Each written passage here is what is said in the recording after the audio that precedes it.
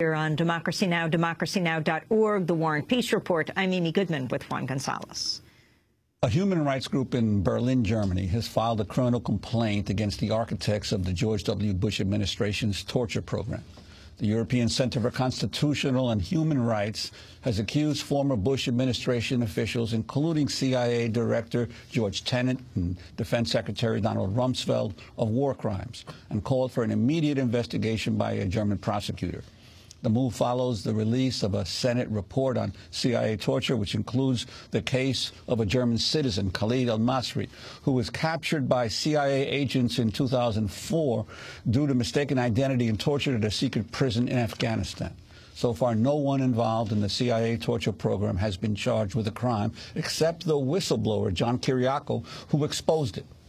In a statement earlier this week, Wolfgang Kaleck, General Secretary of the European Center for Constitutional and Human Rights, said, by investigating members of the Bush administration, Germany can help to ensure that those responsible for abduction, abuse, and illegal detention do not go unpunished, unquote. Meanwhile, President Obama standing by his long-standing refusal to investigate or prosecute Bush administration officials for the torture program. In a statement, he called on the nation not to, quote, refight old arguments. As Obama continues to reject a criminal probe of Bush-era torture, former Vice President Dick Cheney has said he would do it all again. Cheney spoke to NBC's Meet the Press Sunday. With respect to uh, trying to define that as torture, I come back to the proposition torture was what the uh, al-Qaeda terrorists did to 3,000 Americans on 9-11. There's no comparison between that and what we did with respect to enhanced interrogation. Uh, uh it worked. It worked now for 13 years. Mm -hmm. We've avoided another mass casualty attack against the United States. We did capture bin Laden. We did capture an awful lot of the senior guys of Al Qaeda who were responsible for that attack on 9 11. I'd do it again in a minute. Cheney's claim that he would approve torture again highlights a key question. Are top officials above the law? And will the impunity of today lead to more abuses in the future? The question spans a wide chain of command from Cheney, President Bush, and other White House officials who kickstarted the torture program after 9-11 uh, to the to the lawyers in the Justice Department who drafted the memos providing legal cover to the CIA officials who implemented the abuses and misled Congress and the public, and to the military psychologists who helped devise the techniques inflicted on prisoners at U.S. military prisons and secret black sites across the globe. To talk more about this, we're joined now by two guests. Michael Ratner is back with us, President Emeritus of the Center for Constitutional Rights, Chair of the European Center for Constitutional and Human Rights. Uh, CCR has been working with the European Center to file criminal complaints against Bush administration officials complicit in the use of torture. He's also the author of the trial of Donald Rumsfeld, a prosecution um, uh, by book. Martin Garbus is also back with us, one of the leading attorneys in the U.S. Time magazine calls him one of the best trial lawyers in the country. National Law Journals named him one of the country's top 10 litigators. We welcome you both back to Democracy Now! Yesterday we were talking to you both about Cuba. Today we're talking about um, all the news that has come out. Um, Martin Garbus, uh, should President Bush, um, should George Tenet, should uh, Donald Rumsfeld, um, should Dick Cheney be put on trial for torture? They should be. The bad thing about it is they all have a defense they can rely on. They have the defense of the lawyers' opinions that were given to them, the opinions of Gonzales, Bybee, and John Yoo.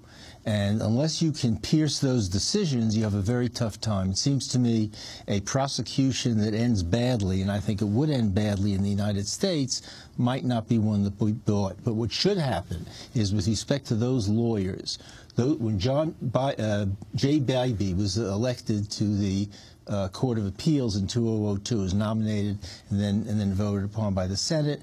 And John Yoo presently teaches at Berkeley University. At University at of California, California. Law School. At the time that uh, Yoo was uh, appointed to Berkeley, there was a mass demonstration of students against him.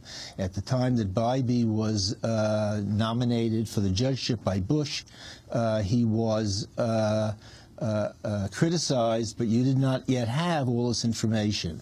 What Senator Leahy has said, that if you had all this information, uh, Jay Bybee never would have passed. Clearly, if you had all this information that you have now, John Yoo wouldn't be appointed. What should happen is there should be complaints filed in the bar associations. They should be suspended and this disbarred. Then perhaps if you have a prosecution, you've already have established the, the faultiness, the horrific faultiness of the legal opinions. So it seems to me, at least in this country, a condition precedent, as we lawyers say, before you can have a prosecution has to be the invalidation of the legal opinions. And I want to just say I'm not here uh, to debate Marty on this. and He's a defense lawyer, um, but I strongly disagree that Bush, Cheney, et al. would have a defense. Um, this wasn't like these memos just appeared independently uh, from uh, the Justice Department. These memos were facilitated by the very people uh, Cheney, et cetera, who we believe should be indicted. This was part of a conspiracy so they could get away with torture. But that's not the subject here now. Um, I just want to, that, so, so, that, that, that is clear to me. Secondly, whatever we think of those memos, they're of uselessness in Europe. Europe doesn't accept this quote golden shield of a legal defense. Either it's torture or it's not. Either you did it or you didn't. Uh, and that's one of the reasons, among others, why we're going to Europe um, and why we went to Europe uh, to bring these cases through the well, European Center. I wanted Center. to ask you about that because uh, as the clip we played of President Obama saying it's no use refighting old arguments, but you are in essence refight, refighting arguments in Europe that the United States refuses to deal with. But of course, you know, Cheney just sh showed us exactly why you have to have to prosecute torture. Because if you don't prosecute it, the next guy down the line is going to torture again, and that's what Cheney said. I would do it again. And now the European case is really interesting. We did try this in 2004. You covered it here. We tried it in 2006. You covered it here. But now, because of the Senate report, we have a much stronger case in Germany than we ever had, particularly with regard to a German citizen, Khalid El Masri, who was taken off the streets of Macedonia, sent to the salt pit, which is known as cobalt in the Senate report. Tell yeah. us that story. It's it's a remarkable story. He was on a bus. He was on a bus to take a vacation in Skopje in Macedonia, uh, and he gets pulled off um, by agents of our government, uh, gets taken off the bus, gets um, you know sodomized essentially with a drug, and then gets taken from there uh, to the salt pit in Afghanistan, which is a CIA black site torture center known as Cobalt in the report. He's there for four months. Everybody knows by at some point along this is a mistake. Uh, there was another guy with a similar name. It wasn't this guy. Even after they're told that it's a mistake, um, they leave him in there and they leave him to be tortured. They finally, at the end of this, just take him out of there and they drop him off somewhere. Condoleezza Rice was involved with this, Condoleezza right? Rice, and so is this woman. They held him further because they realized they had been torturing the wrong man. That's correct. And the European Court of Human Rights actually weighed in on this case, and what they did is they held Macedonia liable for allowing that kidnapping on their streets and fined them. And they found that what happened to them on the streets of Macedonia was torture. Um, so, who else well, was we, I, I want to go to, uh, to Khalid al-Masri in his own words, describing his time inside a secret CIA prison in Afghanistan. Einzige in diesem Gefängnis in Kabul ein bisschen besser als die anderen behandelt wurde? I was the only one in this prison in Kabul who was actually treated slightly better than the other inmates. Wir waren in dieser Zeit nun Häftlinge in diesem Gefängnis und, und die wurden die waren bevor in Dunkelheit oder Musikgefängnis äh, unter der anderen Häftlinge bekannt. Dort wurden die beschallt immer mit lauter Musik.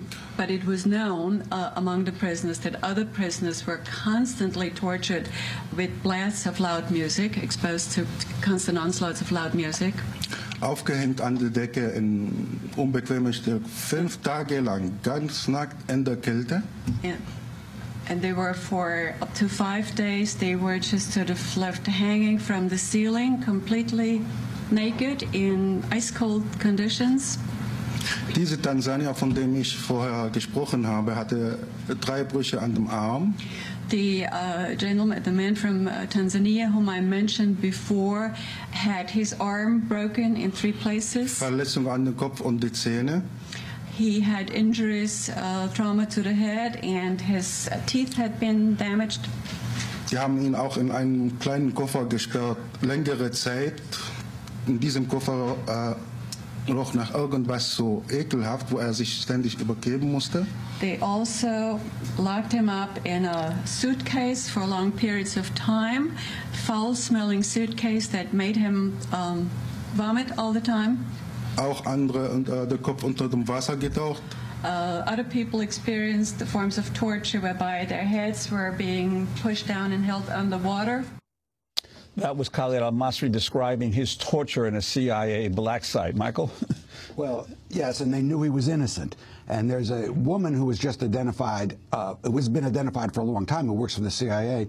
Her name is Bikowsky, Alfreda Frances Bikowsky, who apparently was one of the people who insisted, even though there was people in the agency saying that we got the wrong guy, who insisted on having him picked up and taken there. Uh, she's also uh, apparently one of the models for uh, the woman in uh, Zero Dark Thirty. Um, and Jane Mayer recently wrote an article about her, as I think called the Queen of Torture or something like that. Didn't identify her by name, but she is one of the defendants in the lawsuit in Germany. And let me just say, Germany, whatever happened before between the NSA spying on Germany and the fact that their citizen has now been revealed to have been kept in a torture place uh, when it was known that he was innocent, I'm pretty sure that Germany is going to take this very seriously.